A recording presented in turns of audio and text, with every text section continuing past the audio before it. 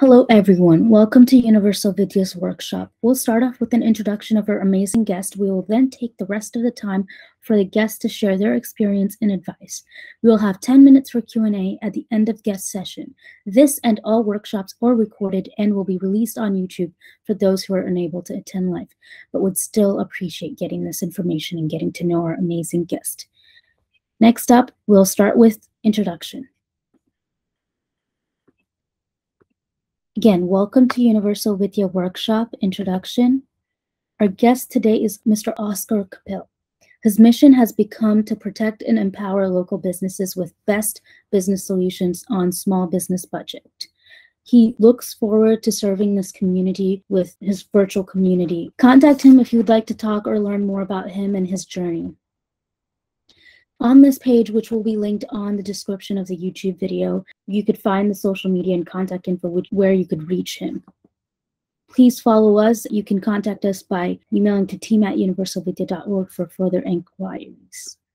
Now, we would have our guest take over with his presentation. So much. I, and, and still, as many times I met you, I'm so impressed that a person this young has their life so well put together and it, it's great to see. It makes me really happy to see that. So let me get my presentation together. All right, are we seeing the slide? Yes. I would like to introduce myself. I'm Oscar Capel. I was born in Argentina, came to this country when I was two years old. My father was a dental technician, and I followed in his footsteps, became a dental technician myself.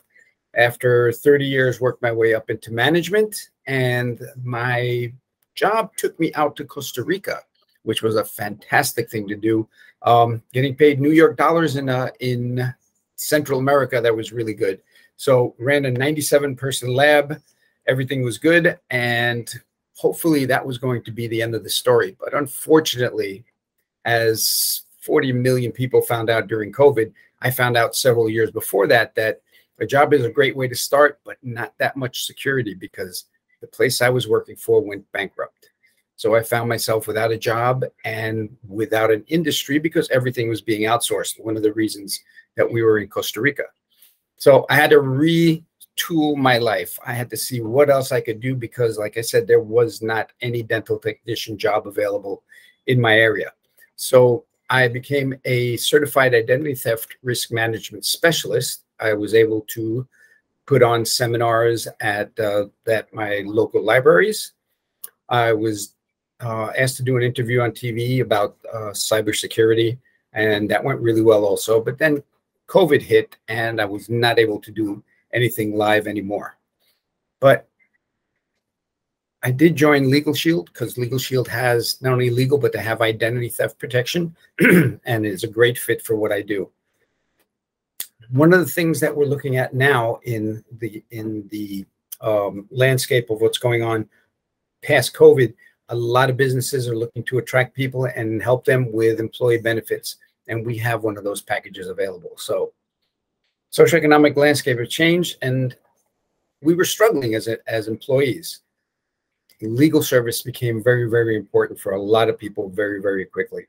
So these estate planning, landlord, tenant, family law, consumer finance are the reasons to use legal services every day people thinking, no, I don't need a lawyer. I don't use a lawyer often.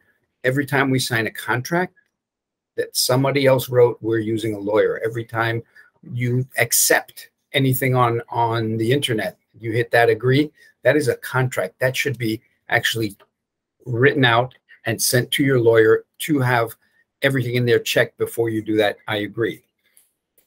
So the legal needs among millennials and Gen Zs soared in 2021. And I thought that was a little odd that Gen Z was actually much more receptive to legal advice rather than than millennials, and then pretty much figured out that's because Gen Zs have grown up with a device in their hand. So disruptive marketing, which is what we do, makes it simpler, easier, and more affordable to have access to a law firm, not just you know any old lawyer, but an entire law firm. So here's the problem with with legal service it's been expensive it's been unresponsive it's been unaccountable you what lawyer do you need to call when you have a problem every problem has a different type of lawyer. Lawyers are like doctors, they specialize. So you wouldn't get a divorce lawyer for a consumer issue, you'd get a consumer issue lawyer. So, disruptive marketing, which is what we do, as I said, puts this app in our hand, and we are able to contact our law firm with any problem we have and get resolutions. Again, it's not an 8 1 800 lawyer that somebody's going to pick up the phone, you don't know who they are. Legal Shield works with one law firm per state. I'm an associate with them. I'm not a lawyer, but I give people access to the law firms. New York, it's Feldman Kramer and Monaco. They've been in business for many, many years, and it's a huge law firm. This is this is the way I used the law firm. I had my car fixed by Toyota. Two years later, the part went bad. I went to get it fixed, and they charged me 497 because I was out of warranty. And I didn't believe that that specific thing that went wrong should be changed every year. So I had my law firm write them a what I call a motivational letter. And guess what? I got my money back with a little bit of interest. So that's how you use a lawyer every day when you have a consumer issue. The other thing is wills, wills, living wills, healthcare power of attorney, something everyone should have done. It's the last love letter you write to your family. Most people do not do it because they don't know the cost involved and they don't know how to do it. Legal Shield has made it very, very simple. It's eight pages very easy to fill out. That goes to the law firm. The law firm will call you back with any questions. You get your will, living will, healthcare power of attorney sent back to you. Get it done, no extra charge. Here's another problem. We every once in a while we have this type of problem. What do you normally do with that? What we do is we hit a button, submits the traffic ticket to the law firm. They will let you know how, what's the best way to fight the ticket. The law firm is available 24 7, 365. That is something no other um, service does that that I know of. Archie Williams spent 39 years of his life in prison for a crime he did not commit because he did not get good legal representation. Where were you 38 and 39 years ago? That all of that part of your life would have been taken away um, if you were in his shoes. So that's a legal part. The other thing is identity theft. Identity theft, as I said, is a huge problem. When we had the the data breach with Equifax, they said victims will be looking over their shoulders for the rest of their lives. That was 147 million people that were affected. Now we have over 30 billion people affected by data breaches, and it's going on every day. Morgan Wright, the U.S. Department Senior Anti-Terrorism Advisor, was asked, "What do you do if your identity is stolen?" And I almost fell off my chair when he said, "I use a company called ID Shield." because they have actual investigators and that makes the difference a licensed investigator able to take over your case and make sure that the, they they will do whatever it takes as long as it takes to resolve the problem another thing id shield does it gives you sex uh, sex offenders that are living in your area you have children you need to know where they are and how close they are to you peace of mind and protection how much does it cost that's the first question individuals um, families and businesses the prices are there I'll show you one $29.95 for Legal Shield for the family. And if you see on the right, it says member perks.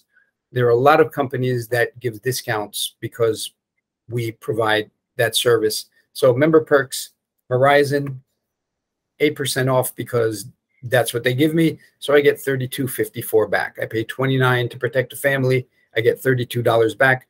I basically get the, the service for free. Reputation management is the next thing we're doing what is what does your online footprint look like? Things are, that you've put on the internet are going to live there forever. What we do is a private um, the reputation defender put all of your social media in there, let the AI scan it for you, and they'll let you know what's out there. For example, these pictures I posted in 1985 are fine, but in today's world, I might not want to post that picture. So the AI will check all your pictures and let you know if there's anything there that should be taken away. So old social media posts are there to haunt you. Uh, people are being canceled for something they wrote on Twitter five years ago. So financial, how, do, how does your financial get evaluated? All of these things, they're looking at your credit score, they're looking at your at your reputation.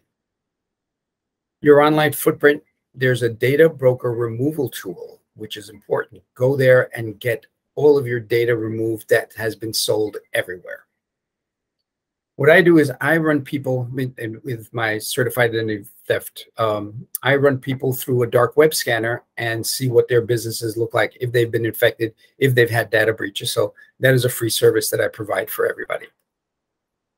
The other thing I do with Legal Shield and ID Shield is a portion of every sale goes to Operation Underground Railroad to stop child sex trafficking in the US and around the world. So we do this every year. We have a big rally, and it's all across the nation, all across the world, one single day, everybody getting together.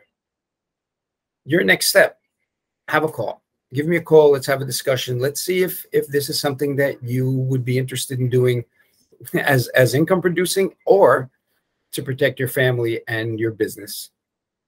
My information is here, and I will stop sharing now, and we will get to questions and answers.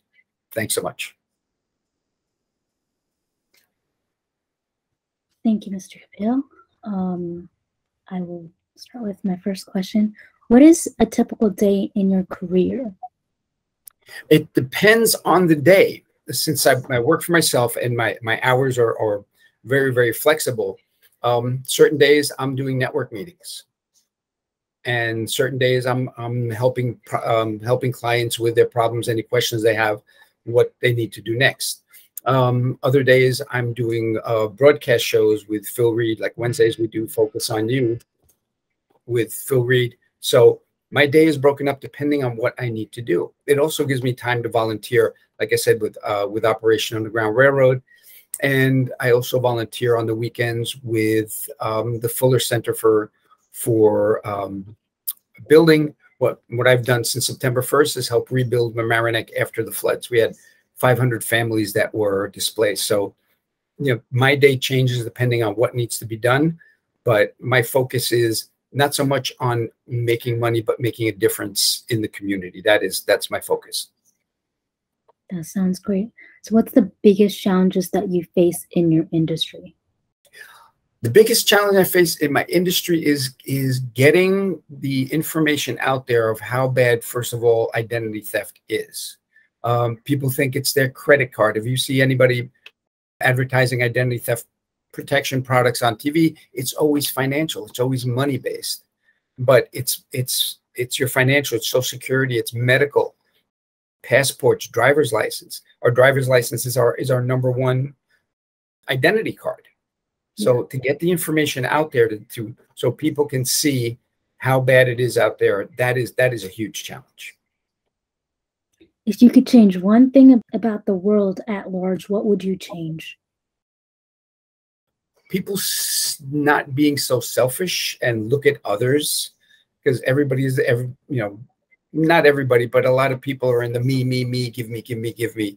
And that you know when you're not getting then then you're anxious because you're not getting. But if you start giving more you'll get it anyway but you're you're not in your in your head. Um, like I said, I volunteer with with several groups because you know that's that that completes my day is volunteering and, and putting out and and helping other people. So, what mistakes, if any, did you make early or in your career in general? Oh, well, do we have three or four hours for this, or is this going to be a short? I guess Maybe I top think, two. I think mistakes um, is not listening to people that know that have been there and done that, and thinking I can do it on my own. Um, I wish I had, I had read uh, Think and Grow Rich and uh, Rich Dad Poor Dad way before I did. You know, after I lost my job, to be, you know, uh, more focused on on what to do. And and again, like I said, uh, meeting you, you're you're a young person, you're an entrepreneur and and having that i think is more important than than getting that you know that that new degree and that new certification and and everything else is you're also you're always chasing the next thing. But are you chasing the next thing for a corporate job that's going to be able to replace you you know in a heartbeat? Or are you doing stuff to build your own business up and and and have a legacy something beyond the business? Totally understandable Many students and young professionals had difficulty separating work from life with the rise of virtual learning, work from home, or so on and so forth. So, how did you maintain work life balance in your career? Uh, for me, it's easy because, like I said, I'm I'm, I'm working virtually. So you know, as long as I have uh, access to my phone, I have access to my business. So I don't literally have to be somewhere, but to get the you know the information that that I have and and um, what's the best way to describe it? Um, getting getting a good system of knowing what you need to do at what time, I think, is really important. Having a having a your your day scheduled out. So, what tools would you probably use most, like Google Calendar or so on and so forth, to organize your day? Right there, there are people that that actually work um, helping people organize. I, I highly recommend that. If if anybody wants to call me, I know a couple of people that can that can help me with that. But literally having not only your digital um, calendar, but also having a physical one. Because I don't try right now. I'm I'm running I'm running Wi-Fi off of my phone because my internet's not working at home. So if I was relying on my internet to find my calendar, I wouldn't have it. You know, you need the phone. So getting your you know getting your your day planned ahead of time, I think it's important. There's a great book, um, Seven Levels of Communication, where he says he has his entire week's wardrobe already set up. So he knows what he's going to wear Monday, Tuesday, Wednesday, Thursday, Friday. So that's something that's out of your head. Now you have time to think of something else. So getting your day together the night before, um, having your schedule ready and looking it over the night before so you know there's no surprises in the morning i think is is huge. Totally agree. What is one thing that every person should do for their career? Start their own business. Mm, like i said i found out you know after 30 plus years of working for someone else that if you're you're a few paychecks away from from living out in the street if you don't build something on your own that can't be taken away from you. So I think that is that is the number one thing that that I would say.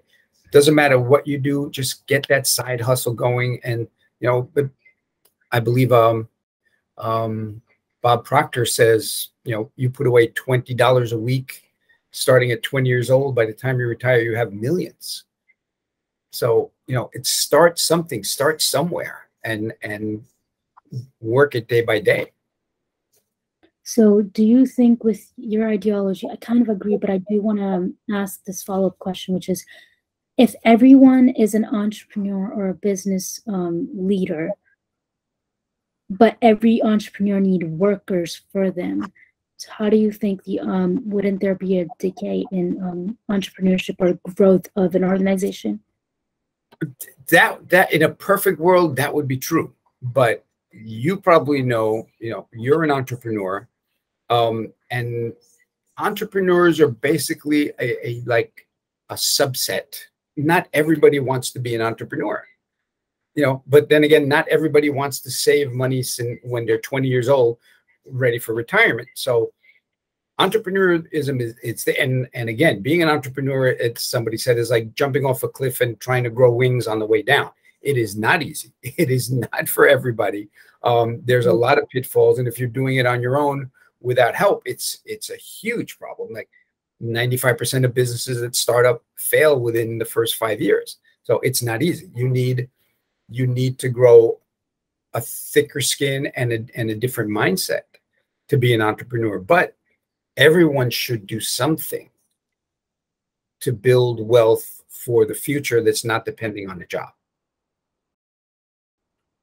This is my personal opinion, not to say something as a stereotype, but I feel like technically speaking, aren't all of us on earth entrepreneurs at the end of the day because we're all earning money for our services or products we provide to this society? Since doctors do earn money from their work or lawyers and so on and so forth, every career at the end of the day works with money just like entrepreneurs. And we're all trying to sell what we do or service. So I think that the best way to describe that would be from Robert Kiyosaki's book, um, the uh, the I forgot the exact same uh, the exact title of it. Don't get old. It's it's awful. Um, it's uh, the oh man, I can't remember. But basically, there's a difference between being an entrepreneur and trading hours for dollars.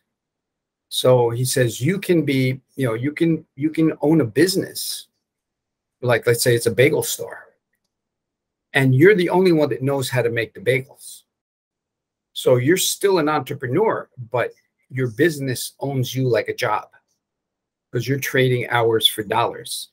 What he says is you need to learn cash flow quadrant. That's the that's the one. Um, you need to learn how to make money work for you, either as a business with employees or as an investor and get money, you know, get your money being chased by other money. So yes, everyone earns a living. Um, my next question is, what is one thing you wished you had known when you were a teenager? Um, as a teenager, you pretty much think you're going to live forever and you do not plan ahead. That's everyone but you because you know better. But um, as a teenager, I, I think I was I, I worked next door to a financial planner, and he he started me on a savings program when I was 18 years old. And when I was 20 years old, I took that money out to buy a car. So I stopped putting money in. And I'm looking back now. I said, if I would have invested, you know, had that that money still going in there, there would be, according to what uh, I've learned, several million dollars in that account. So that is a huge mistake, not listening to people that are older than you, that have been there. Like I said, have been there, done that. Um, you know, if you're going to walk across a minefield, you got to make sure you walk across behind someone that's been there and knows where to step and where not to step. I think you know the the younger you are, the um, the more you think you know everything until you realize too late that you didn't.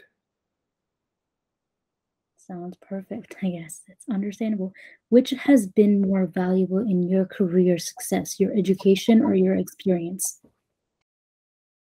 A little of both. You need some education to to advance the career. So you can't say, I don't need education. That's you know, that's that you need to read a label, you know, so you need education. But um, there's education to advance your career, and then there's education just for education's sake know, I, I love studying music. So I get educated on music and different types of music and everything has nothing to do with my career, but that's part of education that I that I like to learn. But um, again, when, when I was in uh, when I was in high school, they said, "Do you want uh, chemistry, physics, and geometry?" And I said, "No, I want the two periods of shop." And that education helped me because I'm, I'm, doing. I sent you a picture earlier of the work I'm doing in the house, so it helped me uh, volunteer with uh, with the Fuller Center to help rebuild houses. So find education that will further your life, not education just for education's sake. Totally understandable. And this one, I really do mean it because my whole purpose of Universal Vidya was to teach life skills and education that's purposeful and useful for the youth. So now to the next question, which is what is one thing every person should do for their personal fulfillment? That that's a great question for personal fulfillment. Uh, one thing is keep a gratitude journal. The universe likes when you're grateful for what you have and you get more. Um, people should really, really, you know, find out what their purpose is here on them. We're we're dancing on this little rock for a hundred years. You know, it's been it's been around for billions. So they say dogs die after 12 years because they've already learned how to love everybody in those 12 years, and that you know they can they can go back. But um, yeah, it's it's you're just learning why you're here and what your purpose is in life, and and how to become a better human being. And I think number one is not judge other people because you don't know what they've been through. You don't know their story when you're when you meet them. So you can't judge someone until you know, like they said you you walk in their shoes. So we judge people based on on what we've gone through and not everybody's gone through the same thing. So judging people is is I think the number one problem we, we have. Definitely agree with that. So what steps do we as youth need to take to get where you are as far as career wise personal wise mentally everything. I, I think we'll we'll go back to that question of education. Find out how wealth is created. Find out how the world works. Find out you know who's and and somebody said once um when you're looking at, at politics it's like if you go to mcdonald's and you're not happy with something you want to see the manager. It's like the, the manager is not the franchise the franchise owner so in politics you're only going to see what um, what you're seeing. In politics you don't see who's above the politicians. And in this country unfortunately it's big business. So the oligarchs will run um, the government you know and we need as as people to come together. Again look at each other for for resources and, take back power from a, a, government that's just out there to uh, basically to enrich the big companies that fund their campaigns. My opinion. and again, but then you know, I, I have uh, ADHD, so I, I a lot of things come together that someone that just has a normal straight way of thinking does it. So I've you know seen different things and I, and I go off in different directions and listen to a lot of people that other people say, you know, why are you listening to that person? He's a comedian. I'm like, sometimes comedians are are making fun of things that are happening in front of our eyes, but we don't realize it. So seeing comedians and seeing what they they think is funny opens you up to what is really going on. So what advice would you give to aspiring career professionals, the youth in general? Number one, find a mentor find again find that person that's been there done that and and cut years off of your learning curve find a good mentor that that will help you advance your career whatever your career is. That's wonderful. I definitely agree with that. And there's one thing we could all leave this workshop with what would it be? I think it would be get the right education um, think of other people first and just that like my mother used to say you're going to be dead a lot longer than you're alive so have fun while you're alive. Wow. That's pretty deep. That's pretty deep. Yeah I, I, the, the more we take ourselves you know seriously the you know the more we like you know study our belly buttons and and get into our own little problems. It's like just you know let it go.